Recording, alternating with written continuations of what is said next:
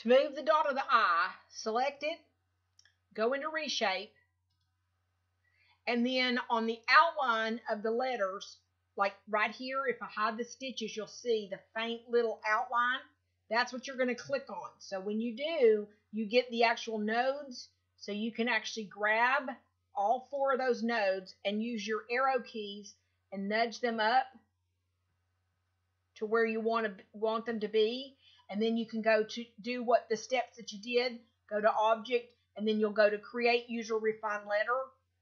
And you'll want to choose all in that in this case because you want the that space to be there at all times.